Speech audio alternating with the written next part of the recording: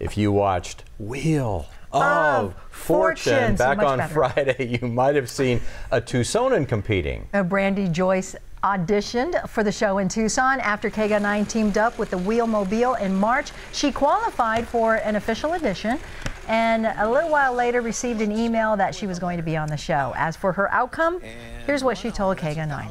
Well, obviously, we're just getting started. I had fun. the wheel was not my best friend at all. Like it got me numerous times, but that's why it's called Wheel of Fortune.